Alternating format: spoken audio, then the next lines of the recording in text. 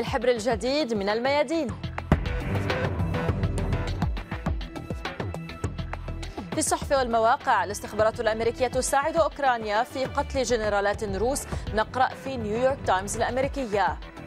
ومن صحيفة الاستقلال الفلسطينية مقال لنزيه خطاطبة بعنوان الأقصى لا يمكن أن يكون موضع مساومة.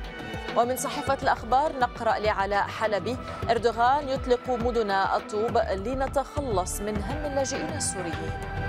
في الحدث هذا اليوم اختراقات موضوعية متكررة للهدنة الأممية الإنسانية في اليمن.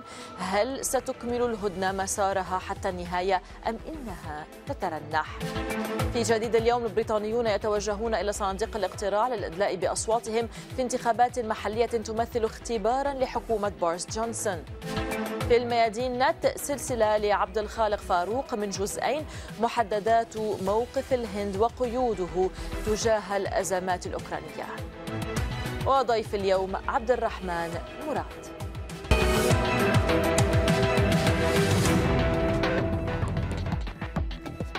ومرحبا بكم. الاستخبارات الأمريكية تساعد أوكرانيا في قتل جنرالات روس، هذا ما تنقله نيويورك تايمز الأمريكية عن مصادر أمريكية رفضت الكشف عن أسمائها. في التفاصيل ذكر مسؤولون أمريكيون كبار أن الولايات المتحدة قدمت معلومات استخباراتية عن وحدات روسية ما سمح لأوكرانيا باستهداف وقتل الكثير من الجنرالات الروس الذين لقوا حتفهم في خلال الحرب الأوكرانية وفق الصحيفة تأتي هذه المساعدة على تحديد الأهداف في إطار جهود سرية تبذلها إدارة بايدن لتوفير معلومات استخباراتية فورية عن ساحة المعركة لأوكرانيا. وتشمل هذه المعلومات تحركات متوقعة للقوات الروسية وهي مستقاة من التقييمات الأمريكية الأخيرة لخطة موسكو السرية للقتال في منطقة دونباس في شرق أوكرانيا. وتشير الصحيفة إلى أن المسؤولين الذين تحدثت إليهم رفضوا تحديد عدد الجنرالات الذين قتلوا نتيجة المساعدة الأمريكية. وقد ركزت واشنطن على تقديم المواقع وتفاصيل أخرى حول المقر الرئيسي للجيش الروسي الذي يتبدل بشكل متكرر. جمع المسؤولون الأوكرانيون هذه المعلومات الجغرافية مع ما حصلوه حصلوه عفوا من استخباراتهم الخاصة ومنها الاتصالات التي تم اعتراضها والتي تنبه الجيش الأوكراني إلى وجود كبار الضباط الروس وقاموا بهجمات مدفعية وغيرها مما أدى إلى مقتل ضباط روس. أجدد الترحيب بك ضيفنا من صنعاء الأستاذ عبد الرحمن مراد وأنت كاتب ومحلل سياسي. أهلا ومرحبا بك أستاذ عبد الرحمن مراد. انطلاقا مما جاء في هذه الصحيفة الأمريكية إلى أي مدى يمكن اعتبار هذه المعطيات بمثابة اعتراف أمريكي بأن آه أمريكا فعليا هي من تقود هذه المعركة مع روس بشكل مباشر وأي تداعيات لهذا الأمر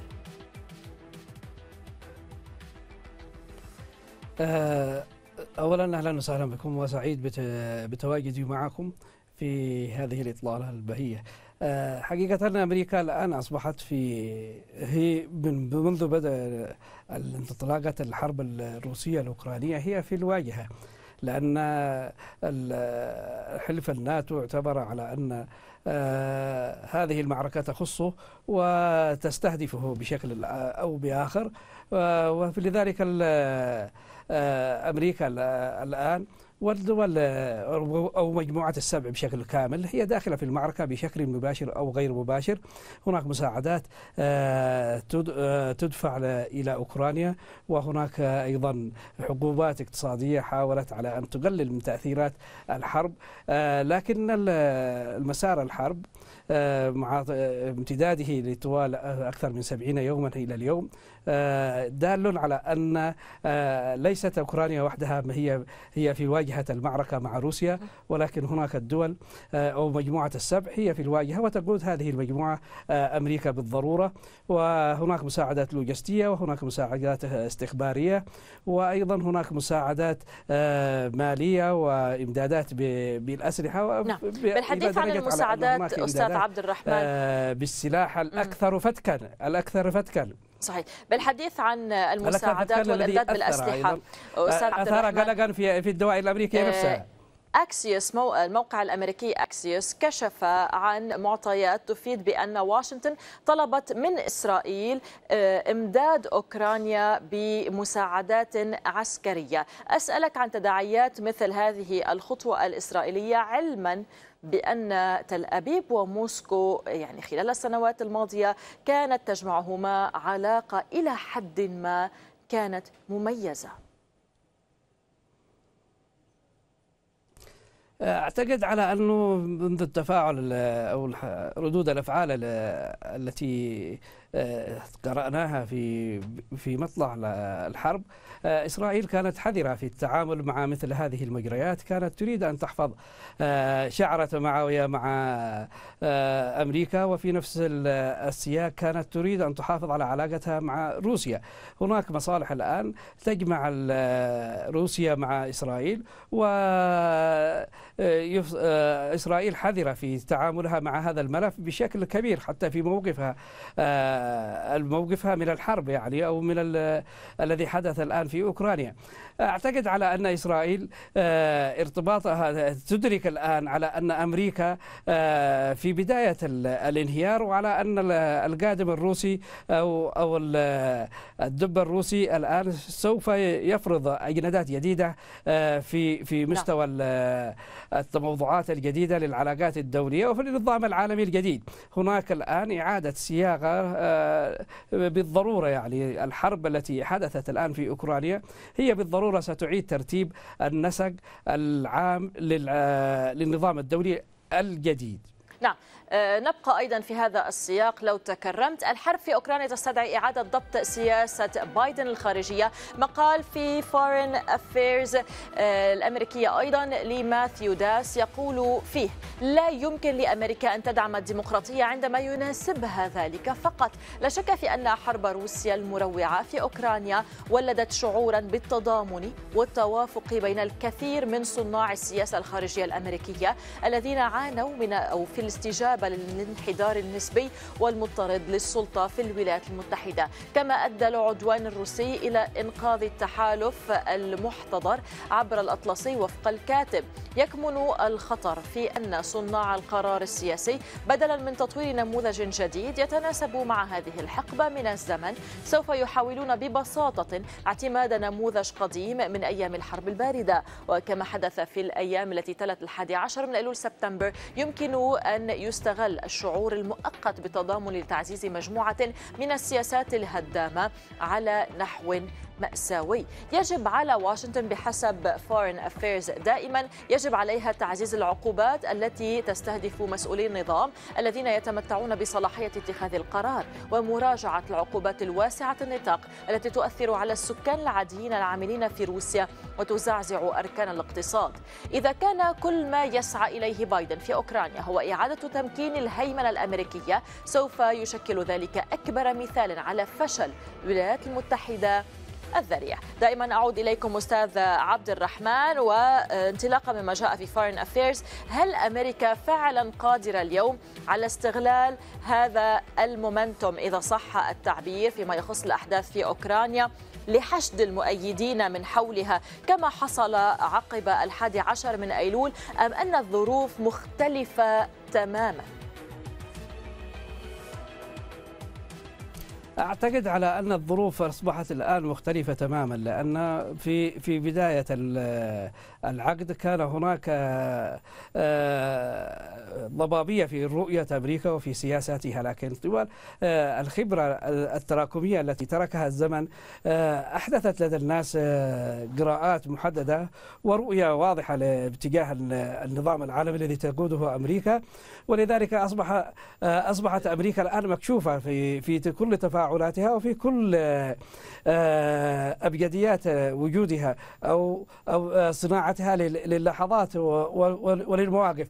آه، لا أعتقد على أن الوضع سيكون كما كان عليه سابقا ولن تستطيع أمريكا على أن تحشد آه، كل هذا الذي وقد اتضح كل هذا الإجماع في اتجاه أوكرانيا أو اتجاه ماس. وقد اتضح ذلك خلال إصدار القرار الاممي بادانه روسيا في في إصدار في في حربها في إدانة الحرب على أوكرانيا.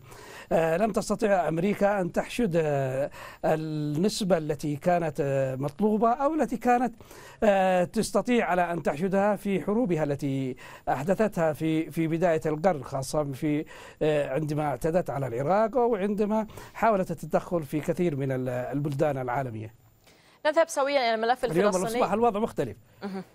نذهب سويا الملف الفلسطيني ونقرأ من صحيفة الاستقلال لنزيه خطاطبة الأقصى لا يمكن أن يكون موضع مساومة. يقول الكاتب قادة الاحتلال ورموز اليمين الصهيوني المتطرف والمستوطنون الذين يعمدون إلى إشعال النار يدركون أهمية الأقصى جيدا. لذلك غالبا ما يحاولون إشعال الأوضاع في القدس من خلال استباحة ساحات الأقصى باقتحاماتهم المتكررة لتحويلها إلى روتينية تمهيدا لتنفيذ مشروعهم لتقسيم الأقصى زمنيا ومكانيا وإقامة هيكلهم المزعوم في ساحاته أو مكان الأقصى. من الواضح أن الشعب الفلسطيني بصموده في الأقصى والتهديد المباشر والجدي من قبل المقاومة في غزة قد أفشل ما خطط له الاحتلال. وعبر الضغوط التي مورست من قبل الأنظمة العربية عبر اللقاءات المتعددة التي عقدت عشية شهر رمضان في تهدئته ومنعه من المقاومة وحماية الأقصى. وأعاد القدس إلى مربع الصراع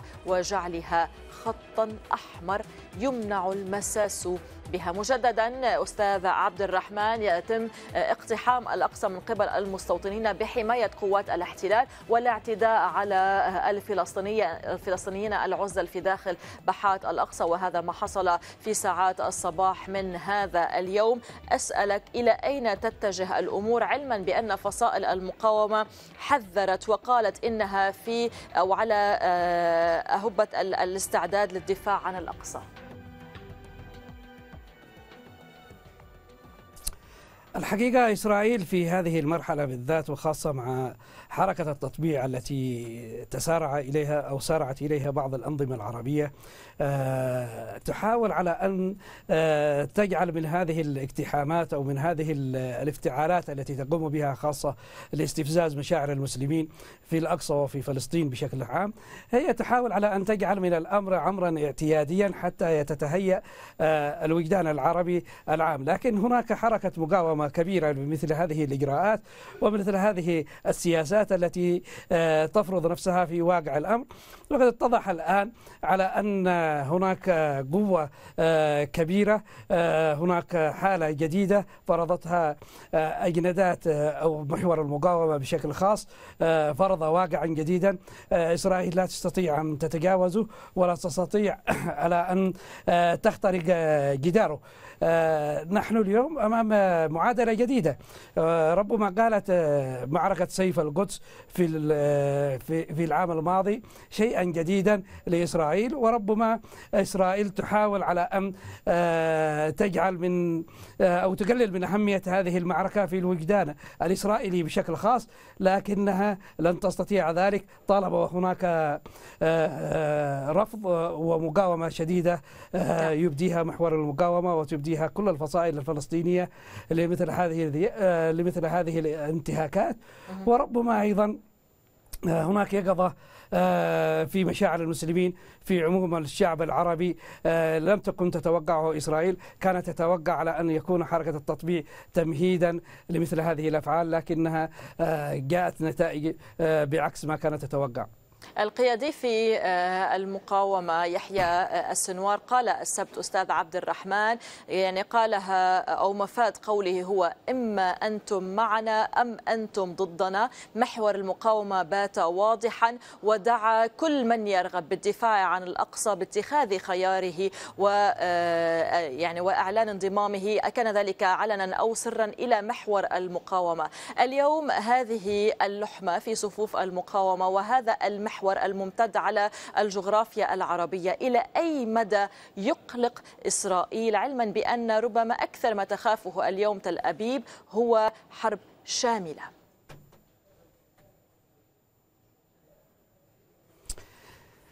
الحقيقة محور المقاومة في تنامي متصاعد وهذا التنامي التصاعدي بالضرورة يقلق إسرائيل ويقلق أيضا أمنها. هي تتوجس من هذا الحالة توجسا كبيرا وتتخوف منه بالضرورة. هذا المحور الآن فرض وجوده بقوة وبقوة تصاعدية أيضا. محور المقاومة يبدو في حالة تنازل وفي حالة ضعف أمام هذا التصاعد. ولذلك إسرائيل تقلق كثيرا من هذا التصاعد إضافة إلى أن الخطاب السياسي بات قويا اليوم. قد نسمع السيد حسن نصر الله بصوت قوي وفاعل وقد نسمع أيضا السيد علي خاميني أيضا بصوت قوي وفاعل يردع مثل هذه الأشياء. وقد نسمع من اليمن السيد عبد الملك على تفاعل كبير وبصوت قوي وفاعل. نعم.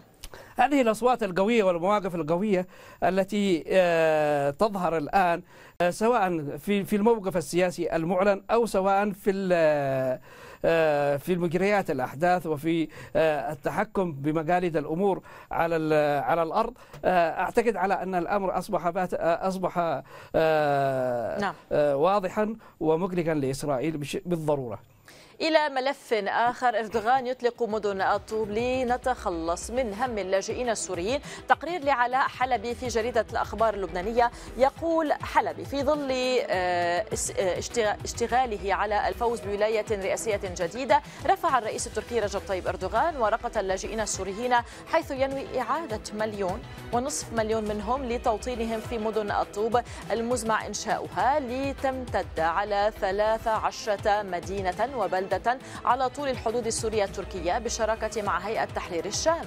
وفي انتظار اكتمال مشروعه هذا والذي يعني قدم المزيد من الأراضي السورية سينتقل قسم من اللاجئين للعيش تحت كنف زعيم الهيئة أبي محمد الجولاني بعدما اختار إردوغان إفادة وزير داخليته سليمان صويلو إلى سرمدة لإطلاق المشروع. ومن خلاصات التقرير ثمة عقبات ومشاكل كثيرة يتجاهلها الجانب التركي لعل أبرزها عدم وجود آه، بيئة آمنة لهذه العودة بسبب الانفلات الأمني في مناطق سيطرة الفصائل وعدم قدرة تركيا. حتى الآن على بلورة مشروع واضح في ظل رغبتها في توحيد مناطق سيطرة الفصائل من جهة ورغبة كل فصيل في الانفراد بالسلطة من جهة أخرى على رغم ميل أنقرة إلى هيئة تحرير الشام التي تمتلك تمويلا ذاتيا يزيح عن كاهل آه، رعيتها أعباء مالية إضافية. أستاذ عبد الرحمن الرئيس أردوغان أردوغان قال إن هذه الخطوة إنسانية ولكن أسألك إلى أي مدى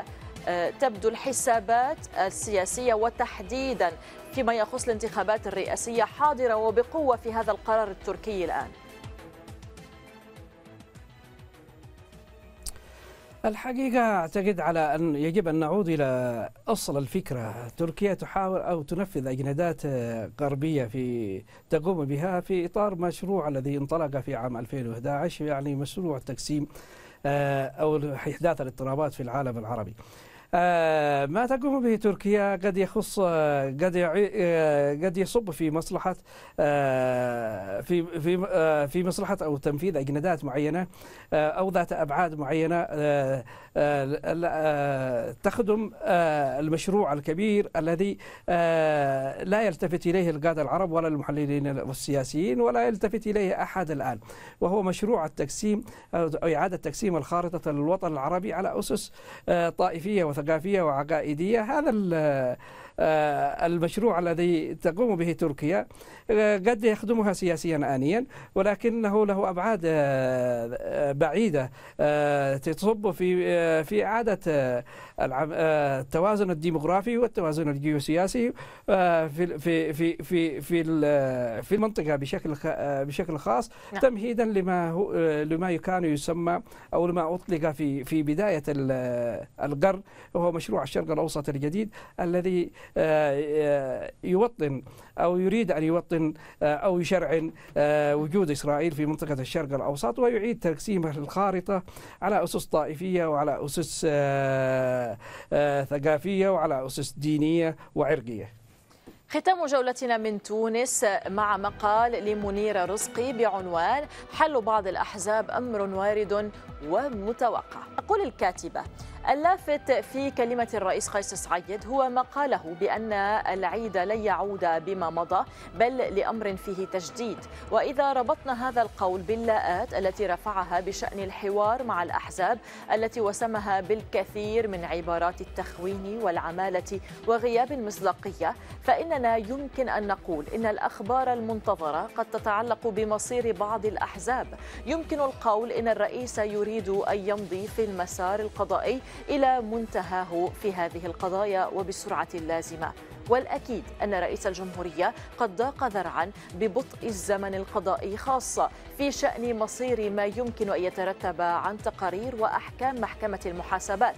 لكن هنا ثمة أمر تنبغي اليقظة بشأنه وهو أن مسارات حل الأحزاب تأخذ وقتا طويلا وينبغي الانتباه إلى عدم التسرع أو مخالفة أي إجراء قانوني بهذا الشأن حتى لا تكون النتائج عكسية. أسألك أستاذ عبد الرحمن عن هذه القرارات التي يتخذها الرئيس قيس سعيد. هذا المخاض الدستوري إذا صح وصفه الذي تعيشه تونس. اليوم الحديث عن حل أحزاب والتخوف من نتائج عكسية. كيف تراقبون الوضع وما المتوقع؟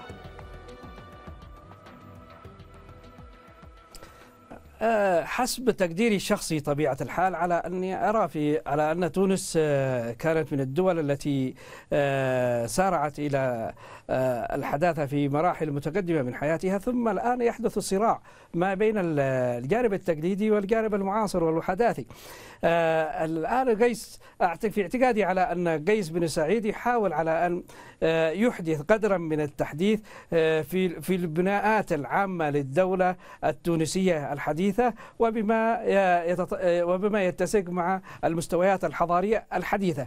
آه، خطوات قيس بن سعيد تعيقها بعض آه، الإفرازات التي حدثت في تونس وكانت آه، ومكنت من القوى التقليدية من السيطرة على مقاليد الأمور. هو يحاول أن يتخلص من هذه القيود التي فرضت عليه أو فرضتها الظروف التي حدثت في تونس خلال العشر السنوات الماضية.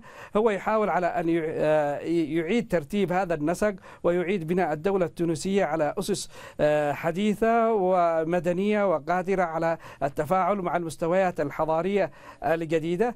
أعتقد على أنه يخطو خطوات في هذا الاتجاه. آه، وأنا شخصيا يعني كمتابع لمثل ما يجري في تونس أحتسب على أن هناك نوايا آه، طيبة لبناء الدولة التونسية الحديثة لدى الرئيس التونسي. حسب اعتقادي وحسب ما أراه آه، ظاهرا نعم. لي بعد إذنك نذهب إلى آه، فقرتنا الآن إلى الحدث هذا اليوم مع استمرار خروقات التحالف السعودي للهدنة الأممية تتعزز الأسئلة حول آه، قدرة الهدنة على الاستمرار حتى نهايتها مع نهاية أيار مايو الحالي والأهم هو بعد مهلة انتهاء هذه الهدنة في اليمن.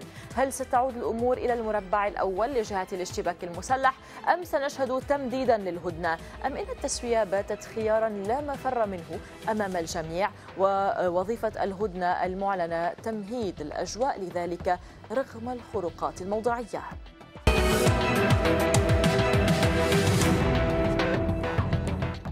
ولكن قبل مناقشة الحدث هذا اليوم ننتقل مباشرة إلى صنعاء مع جولة على أبرز عناوين الصحف اليمنية. مع مدير مكتبنا هناك أحمد عبد الرحمن. أحمد صباح الخير وتفضل.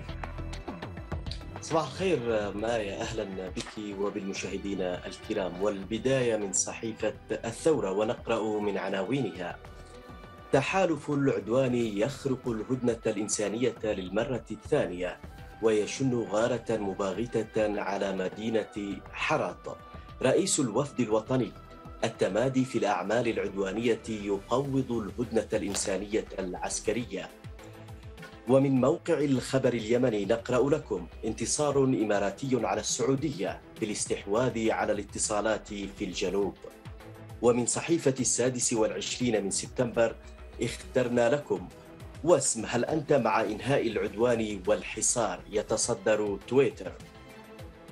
مقال اليوم اخترناه من صحيفة الثورة لزيد الشريف بعنوان مصير الهدنة. يقول الكاتب الممكن الذي من خلاله سيتحقق السلام في اليمن هو الجدية والمصداقية والمواقف العملية الإنسانية وهذا يتطلب توجها صادقا من قبل دول تحالف العدوان ومرتزقتها. وكذلك يتطلب دورا ايجابيا من الأمم المتحدة بما يدفع بالهدنة إلى الأمام. ولكن للأسف الشديد فان ما يلمسه الشعب اليمني هو التسويف والمماطلة من قبل دول العدوان التي لا تزال تصر على حصار الشعب اليمني من خلال إغلاق مطار صنعاء ومن خلال استمرارها في احتجاز السفن اليمنية وتلكؤها في ملف الأسرى رغم أن فيه مصلحتها خصوصا أن هناك استجابة كاملة واستعدادا كبيرا من قبل القيادة في صنعاء ويضيف الكاتب الشهر الأول من عمر الهدنة انتهى من دون تحقيق نتائج إيجابية عملية ملموسة.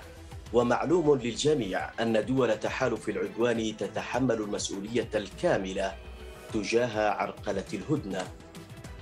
نعم عبد الرحمن إذا هذه الجولة التي أطلعتنا عليها على بعض ما جاء في المواقع والصحف اليمنية. ومن ومنها أسألك عن مصير الهدنة الإنسانية بعد دخولها الشهر الثاني. والأخير المقرر لها. هذا هو سؤال الساعة اليوم مايا هنا في اليمن.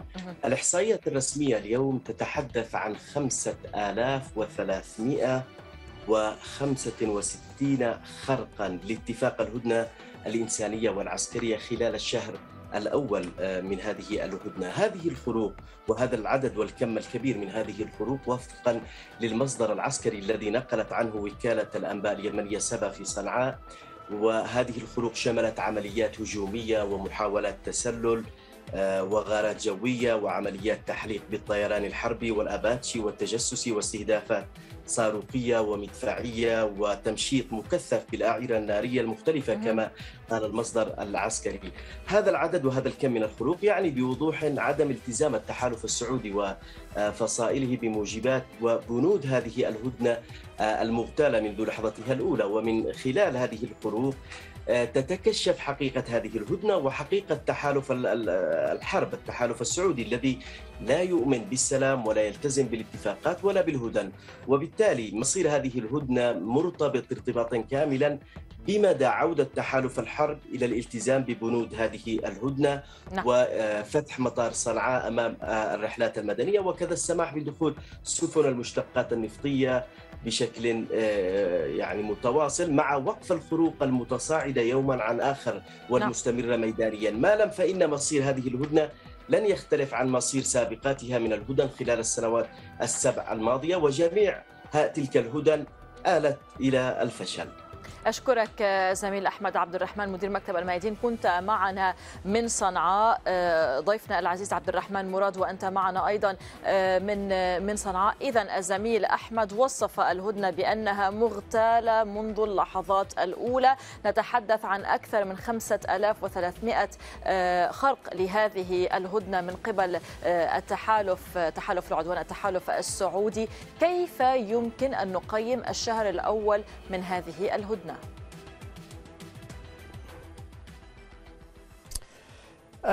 حقيقة الأمر الهدنة التي أعلنت في للسعودية كانت عبارة عن إعادة أعتقد في في وفق ما أقرأه أنا كقارئ شخصي طبعا كانت إعادة ترتيب أوراقها في في في الملف اليمني وإعادة تموضعها بشكل أو بآخر لم تكن جادة في المملكة العربية السعودية وهي تعلن هذه الهدنة بدواعي إنسانية كما قالت. ولكنها كانت تضمر في دواخل نفسها على أنها تريد على أن تعيد تموضع نفسها في في, في اليمن. ولذلك حالة التموضعات الجديدة أو حالة الحالة الجديدة التي أفرزتها وإنتاجها لقيادة مجلس جديد لقيادة المعركة التي في, في على الأراضي اليمنية. أعتقد كانت أحدثت قدر من التنافر أيضا لدى أتباعها في في الميادين القتال. ولذلك تغيرت وتبدلت بعض المصالح وبالضرورة كانت هناك لابد أن تحدث مثل هذه الانتهاكات فضلا على أن المملكة العربية السعودية لم تكن جادة بدليل على أنها كانت ترسل طائراتها ولم توفي بتعهداتها لم يفتح المطار ولم يسمح للسفن بالرسوب في ميناء الحديدة. إضافة إلى ذلك هناك أيضا غارة حدثت في مدينة حرض يوم أمس وإضافة و طائرة تجسس طبعا تم إسقاطها أيضا في أجواء آه، اليمن. آه، هذه هذه الدلائل آه، والمؤشرات تقول على أن المملكة العربية السعودية تحاول على أن تخفف على نفسها كانت الضغط الذي نعم. كانت صنعاء قد أحدثته طيب انطلاقا من كل هذه المعطيات أستاذ عبد الرحمن أسألك عن قدرة هذه الهدنة على الاستمرار. حتى الموعد المحدد لها وهو في آخر شهر أيار مايو الحالي. أعتقد بعد حادثة أمس آه، والغارة الجوية التي قامت بها المملكة العربية السعودية وإرسالها لبعض الطوائر التجسس أعتقد على أنها الهدنة أصبحت على شفا جرف نهار آه، لا أعتقد على أنها ستستمر. آه، كثيرا هذه الهدنة.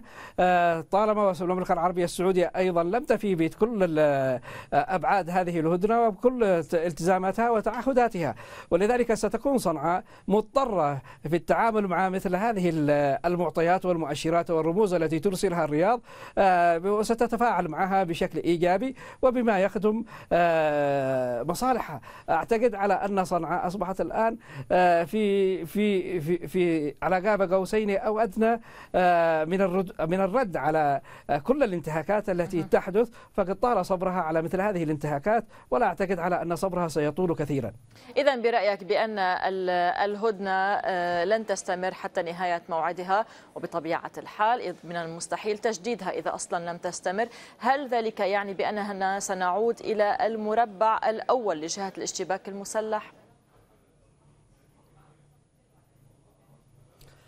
أه، أعتقد أه، أعتقد ذلك لأنه المملكة العربية السعودية آه، لديها هاجس معين وهي فرض أجنداتها والسيطرة على مقاليد الأمور في في اليمن برمته وهي آه، آه، بخلال ترتيباتها التي حاولت على أن تحدثها في الفترة الأخيرة الأخيرة وتحاول على أن تجدد من أدواتها وتبعث الروح الجديدة في بعض الأدوات. وشكلت مجلس أيضا من أمراء الحرب الذين لهم تواجد على الساحة تحاول على أن أو في بالها على أن مثل هذه الأدوات التي استخدمتها في هذه المعركة ستكون قادرة على أن تغير مسار المعركة في الميدان. لكن في حقيقة الأمر أعتقد على أن كل المؤشرات والدلائل تقول على أن المملكة العربية السعودية تخطئ في كثيرا في حساباتها وإلا لما طالت مدة العدوان لكل هذه السنوات. هي كانت تظن في بداية العدوان على أن أن الحرب لن تستمر في اليمن سوى أسبوع أو أسبوعين بالكثير ولكن المعركة طالت آه، على مدى سبعة أعوام ونيف وهي آه، أعتقد وهي في ظني على أنها قابلة للاستمرار. وفي هذه وفي هذه آه، وفي هذه السنوات كلها تغيرت المعادلة.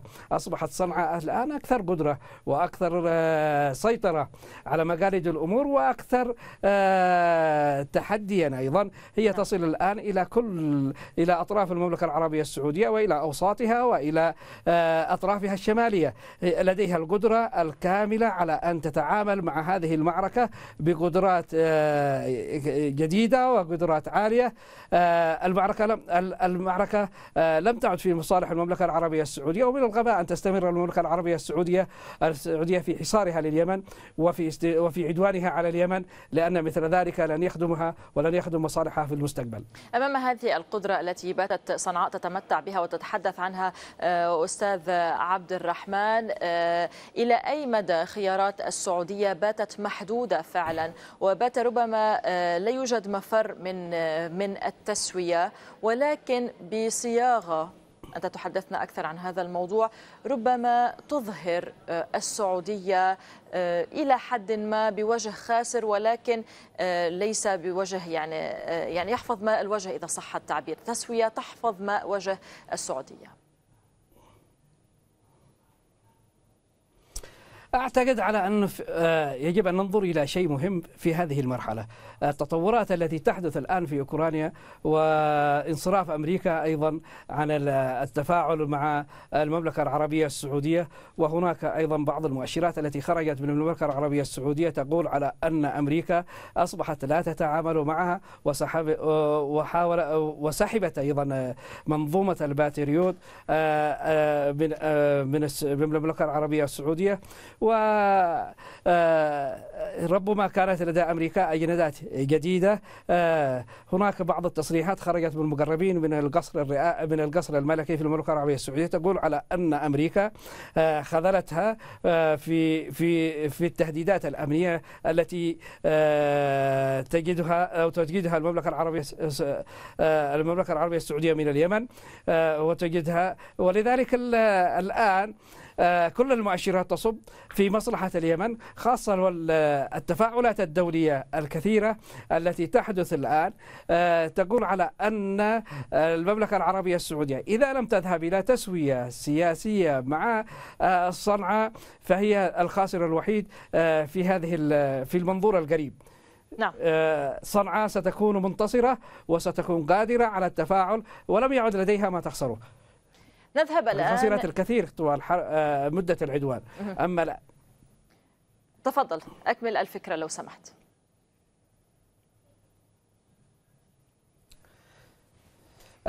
آه ما يحدث الآن في أوكرانيا بالضرورة سيلقي بظلاله على المملكة طيب. العربية السعودية وسيلقي بظلاله على المنطقة سواء في البعد السياسي أو في البعد العسكري أو في البعد الاقتصادي نحن في اليمن آه عانينا كثيرا وحوصرنا كثيرا ولدينا تجارب آه مع ال مع ال الحياة آه وقادرين على أن نتكيف مع كل الأوضاع التي ستفرضها مثل هذه التداعيات آه التي آه تحدث في المجتمع الدولي آه، بشكل عام. آه، المملكة العربية السعودية ستخوض هذه المع... آه، ستخوض هذه التجربة وهي في حالة جدة لم تعتاد عليها وليس لديها القدرة على تفاعل شعبها مع كل المستجدات التي ستحدث سواء على المستوى العسكري أو على المستوى السياسي أو على المستوى الاقتصادي. نذهب الآن إلى جديد اليوم.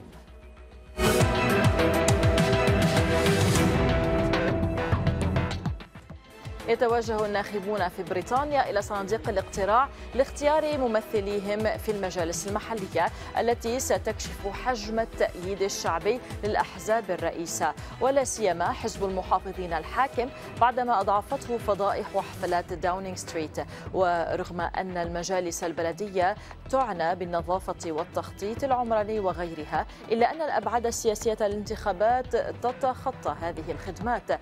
فالناخب البريطاني سيحدد يحدد بوصلته السياسية وفق أداء الأحزاب في هذه المجالات. فاصل قصير ونعود ابقوا معنا.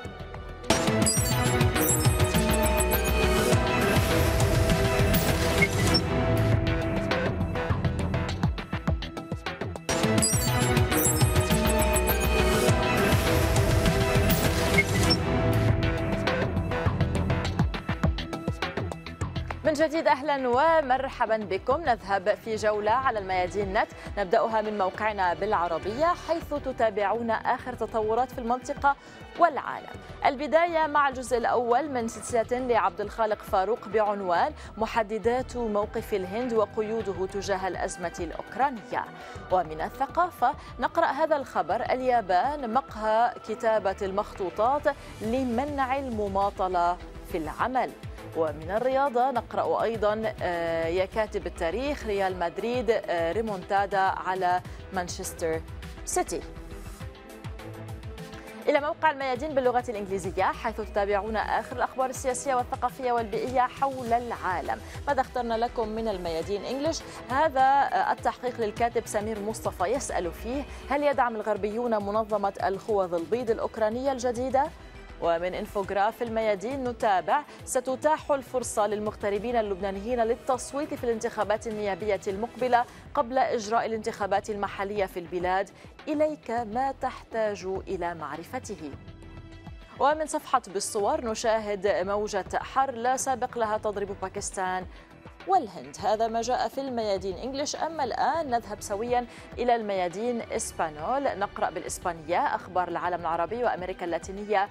والعالم. البداية مع هذا الخبر فنزويلا تعلن تشكيل 18 آه، آه، لجنة صداقة نيابية لتعزيز العلاقات مع الدول الصديقة الأخرى وتعزيز التضامن الدولي.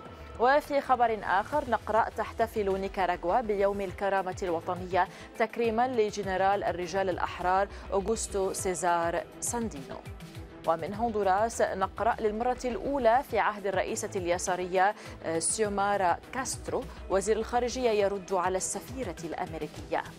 أما الختام فكما جرت العادة مع كاريكاتير الفنان خورخي بعنوان ملاحقة الأفكار والآراء آخر ابتكارات السيد آه، مايوركا في الولايات المتحدة. وفيه يقول له العم سام آه، فكرتك سيد مايوركا آه، بملاحقة الأفكار فكرتك بملاحقة الأفكار هي فكرة ممتازة. وإذا قاومتك واحدة منها فأطلق عليها النار.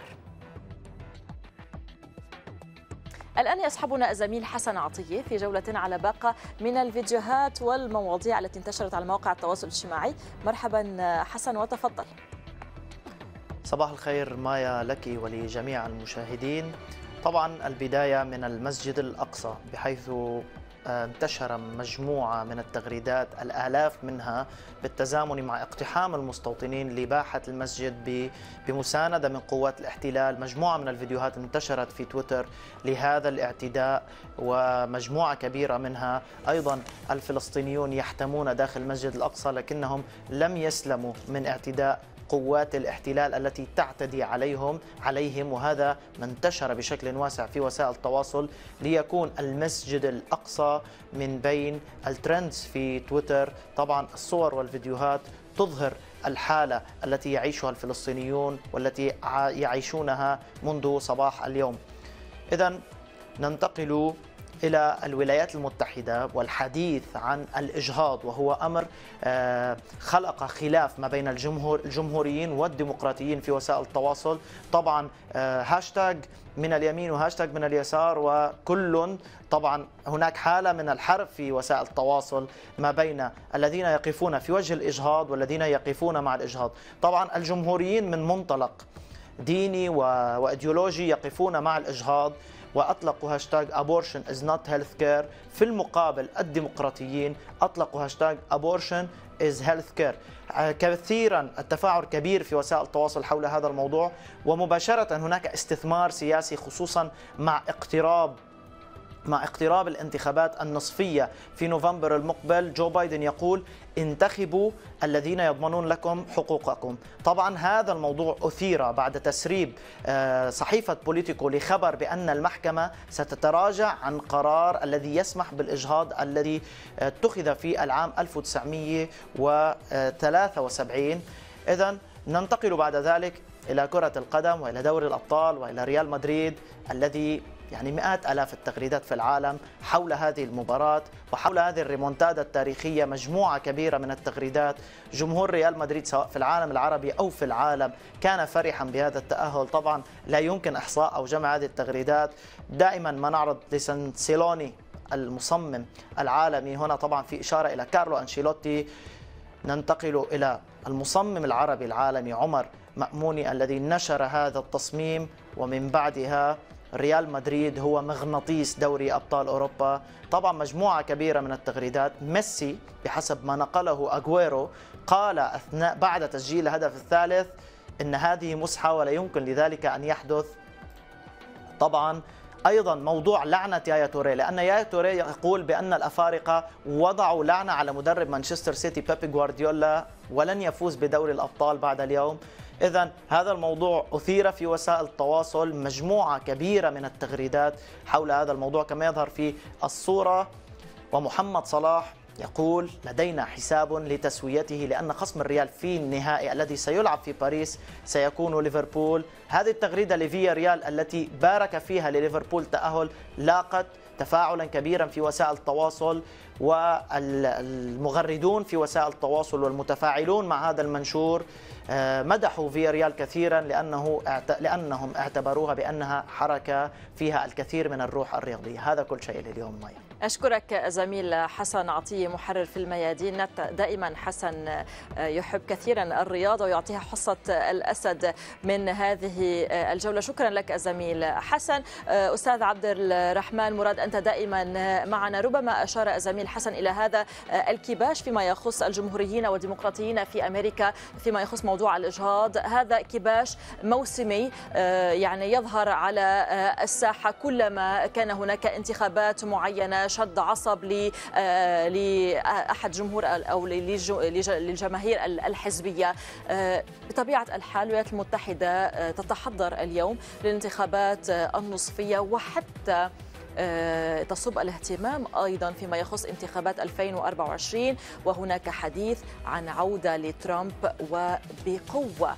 أسألك موضوع عودة ترامب إلى السلطة في أمريكا يقلق الكثيرين في الداخل الأمريكي وحتى في آه، في خارجه. أي تداعيات لمجرد احتمال هذا الأمر؟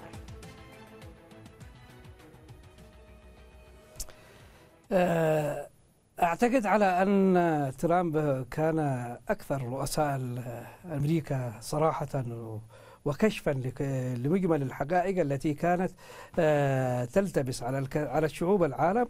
وربما كانت الأنظمة الرأسمالية التي أو النظام الرأسمالي الذي تقودها أمريكا هي تعتمد على آه، فكرة التضليل وتزييف الحقائق. ترامب كان أكثر صراحة وأكثر جرأة في كشف الكثير من السياسات وملابساتها وفي كشف آه، الكثير من الخفايا التي كانت تسترها أمريكا خلف عناوين كبيرة خلف عناوين الديمقراطية خلف عناوين حقوق الإنسان خلف عناوين.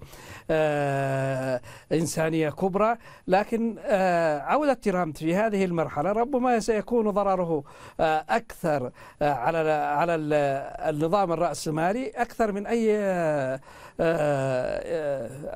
أكثر من أي ضرر على المجتمعات الأخرى نعم. أعتقد على أن حتى في في في علاقة آه، أمريكا مع روسيا ترامب صرح في أكثر من اتجاه وفي أكثر من موقف آه، بحقيقة هذا الصراع وبرغبة أمريكا على السيطرة وعلى فرض الهيمنة وفرض ثنائية الخضوع والهيمنة على الاتحاد السوفيتي من خلال أوكرانيا آه، ترامب قال هذا الكلام وفي في فترة رئاسته نعم. وكان أكثر صراحة من أي نظام آخر آه، عودة ترامب هي عودة محتملة ربما شهد المجتمع الأمريكي ازدهارا في في في في زمنه وربما شهد آه، وربما أحدث شرخا في نعم. جدار النظام العالمي من خلال صراحته وقوة وتفاعله مع كثير من الأحداث بشفافية مطلقة.